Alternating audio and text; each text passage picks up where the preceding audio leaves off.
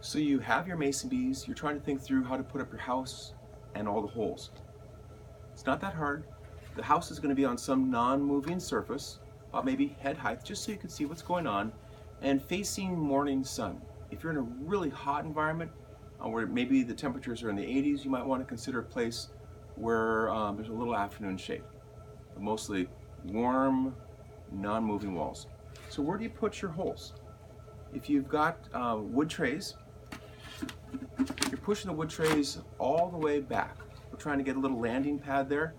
And this is actually quite easy. Uh, the mason bee, as they come in, she knows she can see the house. She's zooming in, she's left or right corner. We've got, if you'll notice on the wood trays, they're all burnished. In fact, I've got black on my fingers. This helps the bee kind of figure out which hole is hers, and so she's zooming in. You're gonna be placing your bees either behind, open the box, behind the holes, or maybe up inside the attic, but just someplace where they can come out and the wind's not gonna blow them around.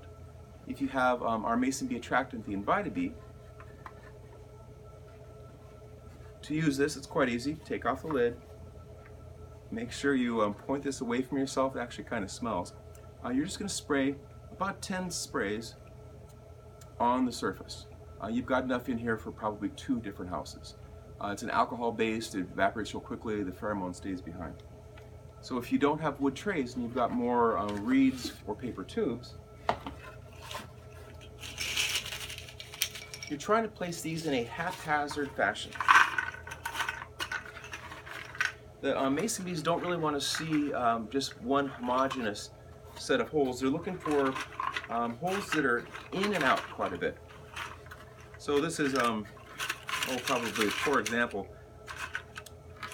But we're trying to get the holes, um, some of them are in, some of them are out, and this just helps the bees as they come in that I know my hole is to the left of the one sticking out. Again, the pheromones are the same thing. You're spraying just on the front of the face. And with your mason bees, I'm trying to put these either behind the holes or up here. Uh, one last thing, if you've got holes, you know, not that many holes are in this big house. We don't want to have a bird nesting up there or something in, so I'm typically taking up paper